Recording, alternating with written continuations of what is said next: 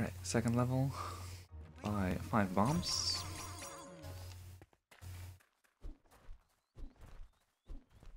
I'm gonna do our first zombie Kay. Open the pot before damaging yourself.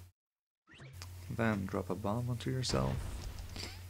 And line up zombie Kay by having your sword out and put the tip of it in the item. And drop a bomb.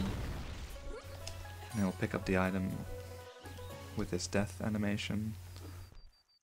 Now you have zombie Kay.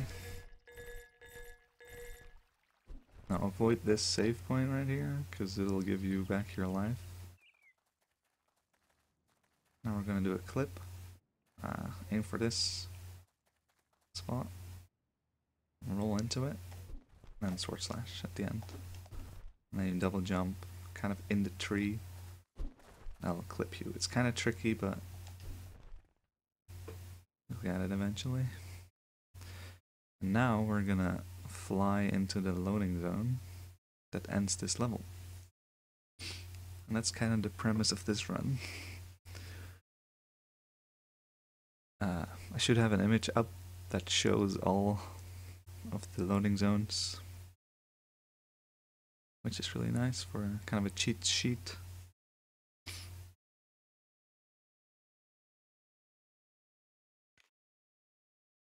Can also zoom in the map. So this one's like right here. There you go.